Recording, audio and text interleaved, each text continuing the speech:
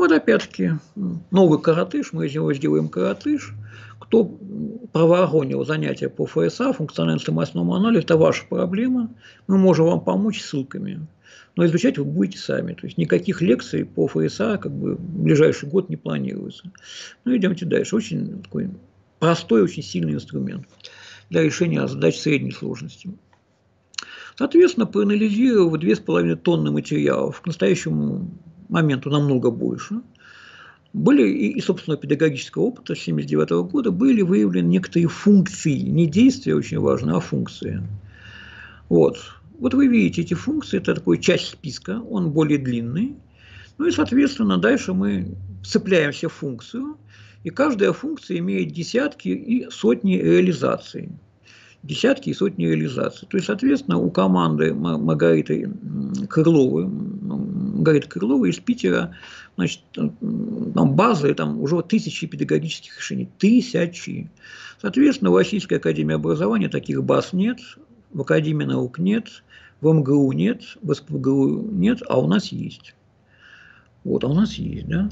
Соответственно, вот мы вцепляемся в функцию и так далее. Вот. Постараюсь повести один пример. Он запомнится сразу же, как бы частично неприлично, но тем не менее. Соответственно, я проводил несколько консультаций в дикие 90-е, когда мне, мне выходили люди, люди, люди с весьма странными деньгами, не знаю, откуда они добыты, но подозреваю, что не очень честным законным путем, и говорили примерно следующие тексты. Игорь Леонардович, как бы, вас нам рекомендовали, вот вы консультируете создание новых журналов, что правда, вот так далее, так далее.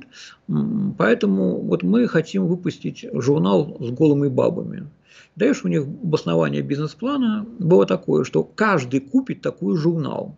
То есть, если будет голая бизнес-баба на обложке, то все купят. Соответственно, таких было несколько в разных городах выходили. Я всегда говорю, что, соответственно, как бы я не возражаю против журнала с голыми женщинами, а не бабами, да. Но, соответственно, вы просто не понимаете потребления. То есть подойти в те времена не было интернета, начало 90-х, середина 90-х, толкового интернета, для большинства людей подойти просто-напросто вот к ларьку Союз печати, тогда был еще Союз печати, не Роспечать, и спросить, мне вот как бы журнал последний с голыми бабами, это будет никак. То есть вы просто как вы будете распространять? Через подписку тоже проблемно и так далее. Так вот, соответственно, привлечь внимание к журналу, то есть есть порядка там 40-50 способов, как можно привлечь внимание к журналу. А функция одна – привлечь внимание. Но имеется в виду привлечь внимание к журналу, когда он лежит на раскладке, либо в союз печати. То же самое я сегодня приводил выставочный пример, что профессионалы знают три способа, вот, а профессиональные, совсем такие хорошие профессионалы, они знают 70 способов. Да? И, соответственно, вот каждая функция имеет десятки и сотни реализаций. Соответственно, вот как бы это надо очень хорошо понимать, и, соответственно, мы конструируем свой курс – свой курс, неважно о чем, вообще вообще неважно о чем, из функций, а не из плана действий учителя. Вот, соответственно, помню, что при больших базах, то есть, ну, да если, если баз нету, то, соответственно, люди начинают просто-напросто воскресенье перед, или субботу перед курсом, они начинают тянуть какие-то вещи из интернета, ну и, соответственно, получается убогий курс. Слово убогий, не убогий в названии сегодняшнего лекции используется абсолютно сознательно, поскольку мы не нашли неубогих курсов. Ну, и повторяю еще раз просьбу, присылайте, присылайте, мы посмотрим, да. Можешь пригласим выступить у нас на конференции, да. Соответственно, идемте дальше. Да, вот набор функций довольно полный, довольно полный. Соответственно, напоминание еще раз очень важных вещей, которые бьют по смыслу, в определенном смысле смыслу жизни, смыслу жизни, профессиональному служению. Как актеры любят говорить, я служу в театре ну, вот э, работа хорошего актера, действительно хорошего учителя, хорошего врача, нечто больше, чем работа за зарплату. Я думаю, что все понимают другое дело, что бывают и актеры, и педагоги, и врачи поставлены в скотские условия, где там добывают хлеб насущный к существованию, но это другое дело. Так вот, соответственно, если это делать ретроспективно, у нас будет ряд докладов 19-го именно вот на эту тему. Соответственно, гении при дурном характере делают какие-то крупные скачки, крупные прорывы. Соответственно, в эти прорывы устремляются таланты, тоже люди амбициозные, но они все-таки частично пришли на готовое. Они что-то сделают. Более того, талант с высокой вероятностью может быть более известен, поскольку он уже довел дело до ума. Гений только проложил, порубил окно в Европу, а таланты там наладили торговые сообщения, что-то еще, что-то еще, что-то еще, организовали торговые дома, торговли колониальными товарами и прочим, прочим. Соответственно, на этом фоне есть одаренности. Одаренности тоже нужны, одаренности тоже нужны, которые делают какие-то маленькие шажки, но очень часто одаренности, особенно пиша мемуары, слово пиша оборот такого щедрена. Так вот, пиша мемуары, они самовозбуждаются от этого и, значит, соответственно, выписывают себе лишнего. Так получилось, что у меня одно время пришлось заниматься партизанским движением на северо-западе. Так получилось, как бы, да. Я с несколькими реальными героями Советского Союза ну, пообщался.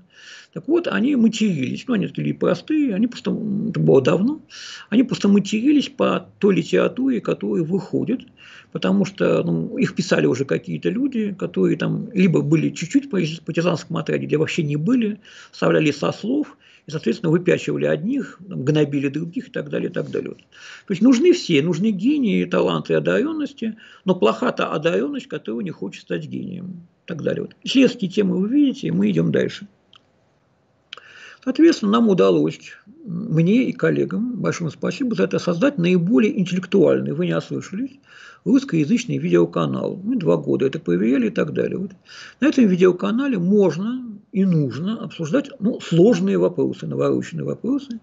По сравнению с различными кладбищами в социальных сетях, где люди пытаются создавать проект, они не в состоянии даже какие-то сложные вопросы обсуждать. У нас такие сложные вопросы обсуждаются. Кто хочет, пожалуйста, бесплатно и так далее. Вот. Но почему у нас канал самый интеллектуальный на сегодняшний день? Более интеллектуального на русском языке мы не нашли. Потому что у нас есть запреты, вы видите их по ссылке W8D, которые отсекают 7 типовых ошибок и глупостей в комментариях. Facebook и ВКонтакте набит глупыми комментариями, которые гнобят безумное количество проектов. Я лично не позволяю придуркам из интернета гнобить приличные обсуждения и почти ежедневно кого-то удаляют. Поэтому, кто хочет к нам, пожалуйста, но начинаете вы с правил, которые выстраивают ваше мышление, а не демонстрации скверных комментариев, которые никого не развивают. Соответственно, кто считает нужным и возможным, у нас будет ряд видео по этой тематике. Вы можете нам немножко помочь с видео. Кто хочет, пожалуйста. Кто не может, ну, никаких, естественно, претензий с моей стороны нет. Эти лекции считаются в бесплатном режиме совершенно умышленно. Идемте дальше.